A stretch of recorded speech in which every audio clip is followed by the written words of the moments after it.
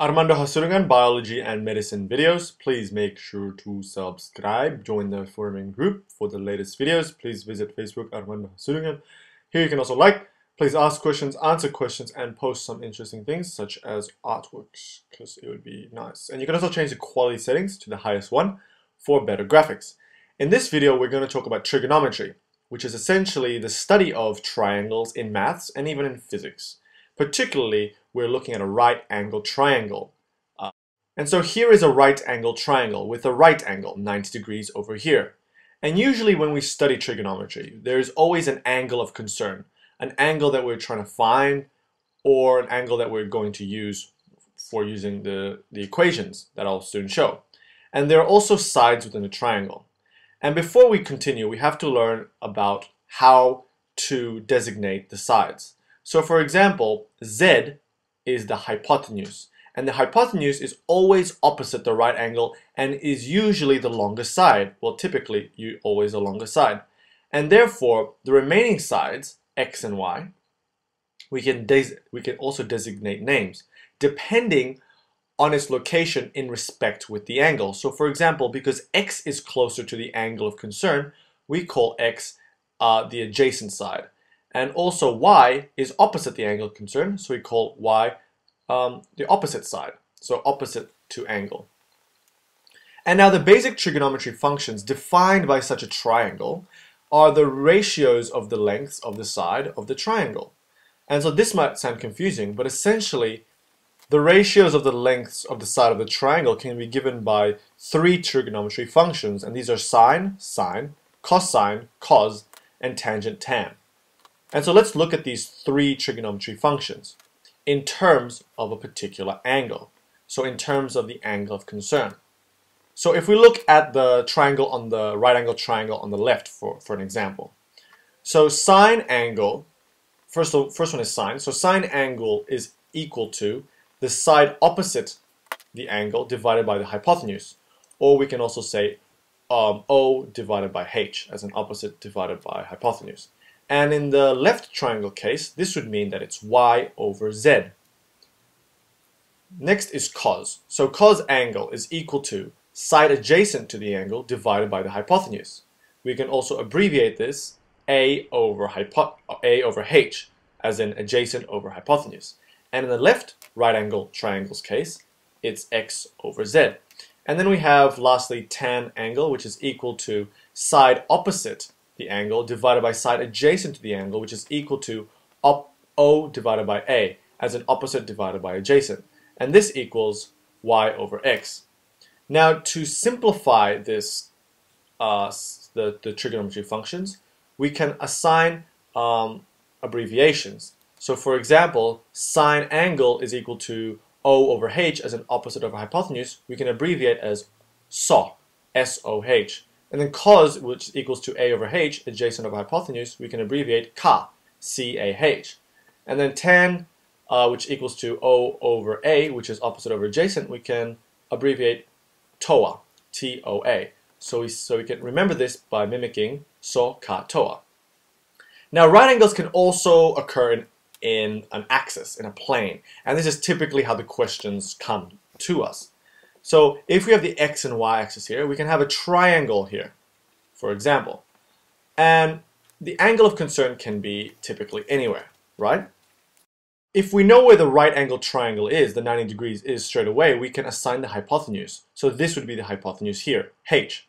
And if this was the angle of concern, let's just say, the angle that we know, for example, we can assign which sides are the adjacent and which side is the, is the opposite. So in this case, here's the adjacent A and here's the opposite O. And now if we use SOHCAHTOA, we can each assign um, the ratios of the sides and the lengths of a particular this particular triangle. So sine uh, angle is equal to O over H, cos angle is equal to A over H, and then tan angle is equal to O over A. And we can, so now let's look at an example to see how SOHCAHTOA works. So for example, the question is, on a sunny day, a tall building casts a shadow that is 80 meters long. The angle is given as 60 degrees between the sun rays and the ground. Find the height of the building.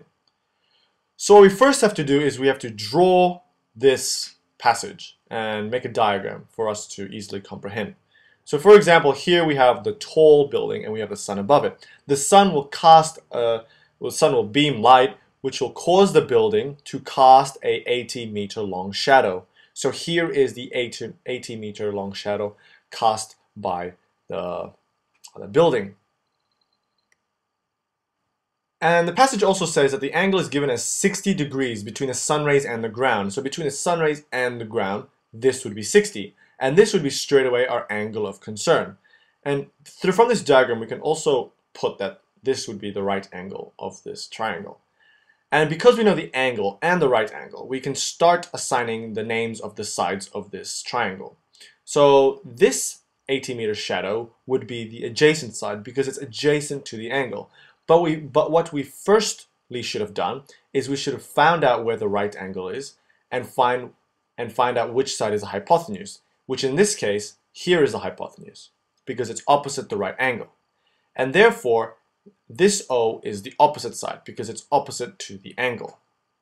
And the question specifically asks find the height of the building and therefore we need to find the opposite side as you can see. And so we want to find O as in the opposite side, and we are given values of the angle and only the adjacent side. What can we do?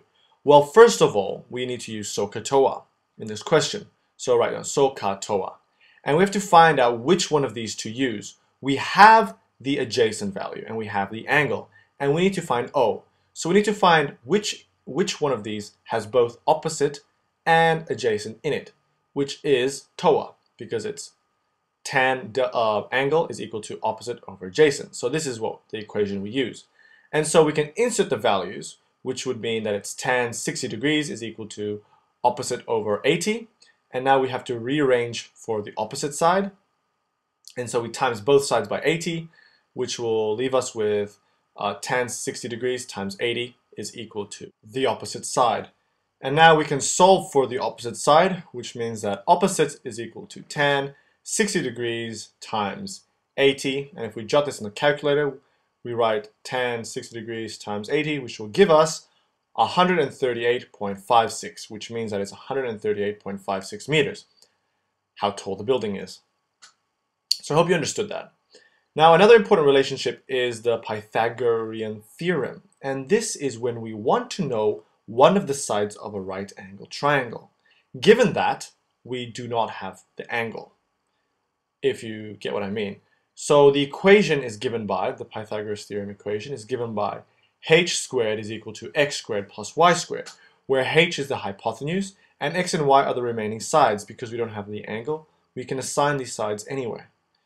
And also, you might have seen r squared is equal to x squared plus y squared, but this is exactly the same um, equation, where r is the hypotenuse. And this is what we this is what we will use.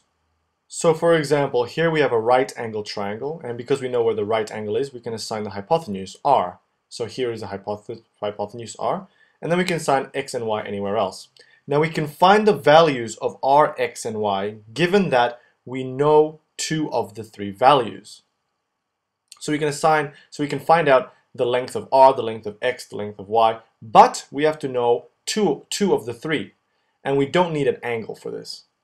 And so for example, if we have a right angle triangle here, and we have the length of 4 here and 2 here, um, and let's just say we want to find x. So we use this equation, r squared is equal to x squared plus y squared. And we have to know which side is the hypotenuse and the remainder. Because we know where the right angle triangle is, r would be the hypotenuse here, and therefore y can be 2. And so if we re so we want to find x, and therefore we have to rearrange uh, this equation for x squared. And therefore, we, we, we minus um, y squared from both sides, which gives us r squared minus y squared is equal to x squared. And we can rearrange this more nicely to have x squared is equal to r squared minus y squared. Both exactly the same. And now we can insert the values. So therefore we have x squared is equal to 4 squared minus 2 squared. And to solve for x, we have to remove the, the square the squared of the x. So we square root both, both sides, giving us x is equal to square root of 4 squared minus 2 squared. We jot this in the calculator, so we have square root of 4 squared minus 2 squared, which mean which gives us x is equal to 3.46, and therefore the length of x is 3.46. Simple enough. I hope you understood that. Please like, comment, and share, and next we're going to look at the inverse of the trigonometry functions. Thank you.